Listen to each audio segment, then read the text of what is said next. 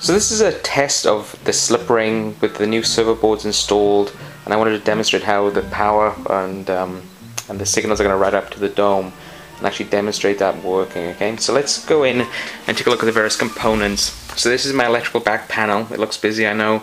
But the main thing I want to point out this is my receiver here. It's actually a VEX microcontroller. In all intents and purposes for this test it's functioning just like any other receiver. Um, it's got various outputs servo outputs here that obviously I write through to my speed controllers over here um, but then I also have an additional cable coming off that with a signal in it that will ultimately run up through the dome. So let's take a look at the various components inside.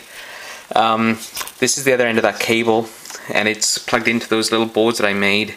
Um, on the bottom here is the power coming in, that's 12 volts that routes through um, the board and then into the plug at this the, the other end of the, the slip ring and then in the middle there's a row of pins, standard th uh, three pin um, headers that you plug in your, your servo um, signal connections in. So I have 12 of those. Um, I won't be using all of them, but I've you know built it in because obviously the slip ring has a, more connection than I need. So it's probably worth pointing out at this point that um, I'm not routing all three signals from this wire. So there's you know typically there's a um, the, the control signal that's on white on this one sometimes it's yellow but that's the control signal and then there's red and black that's uh, 5 volts or 6 volts and a ground. I'm not running those up through the dome at all I'll rebuild that in the dome from from the, this the 12 volt power that I'm setting up. So that's the, the cable you can see routes up there's the slip ring here and then at the top here I have another board very similar.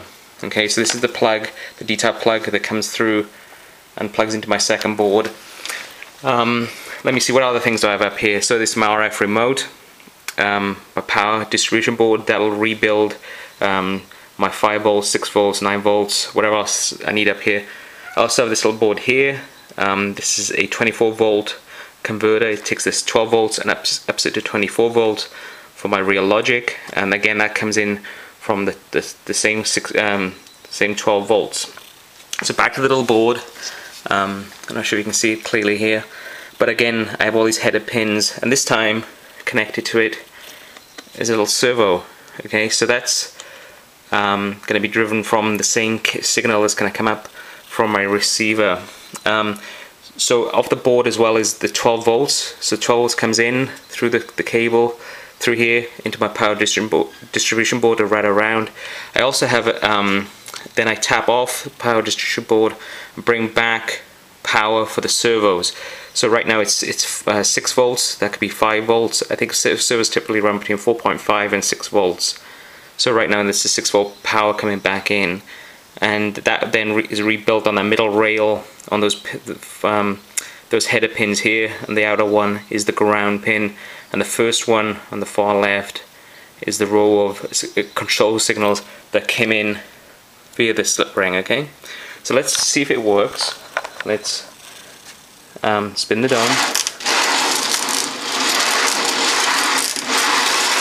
It's spinning smoothly. And let's see if this little servo is going to twitch. It's not going to go very far but it'll um,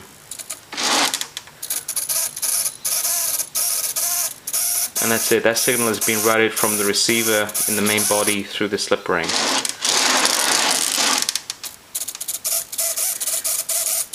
and as I have it configured right now I have 12 channels coming through, 6 and then 6 additional channels allocated to ground and power. So I could potentially run 6 servos through. Typically your average receiver is about, uh, let me see, it's about 6 channels, 10 channels, something like that, maybe 9.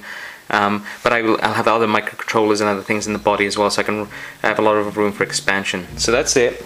Um, that's it. So it's working, okay?